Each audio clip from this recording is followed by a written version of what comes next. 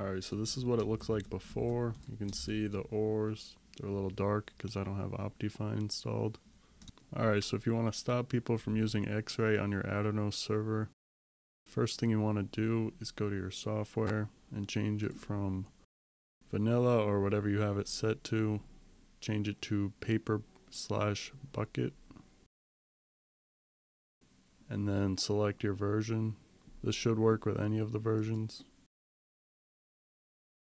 and then click install.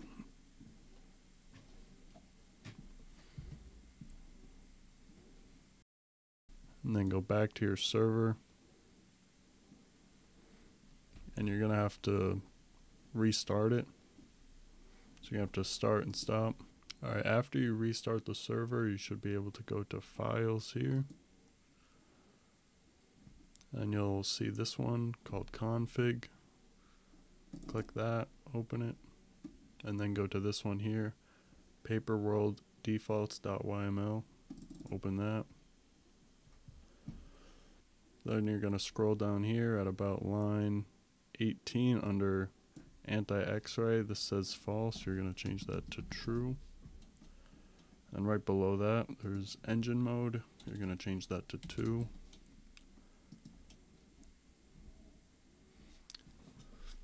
Then under hidden blocks, you're going to write dash space ancient underscore debris. And that will make it so it works in the nether as well. And then replacement blocks.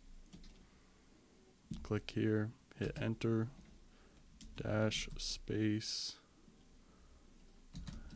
and then netherrack spelt like that. And then two things above it, you see max block height 64. Change that to 264. Then hit save. And then you're going to want to go back to your server and you're going to have to restart it again. Then after that, you should be able to start up your server like normal. Alright, so after doing that, I turned x-ray on, and as you can see, it's working. It shows a bunch of fake ores, so that way they can't tell what's real and what's fake. And here's some proof for it working in the nether, as you can see. Just looks like a bunch of random ores, so they can't tell what's real and what's fake. That's not real ancient debris. And that's all, so if this worked, make sure you leave a like, and if it's not working, make sure to comment down below let me know and maybe I can help you out.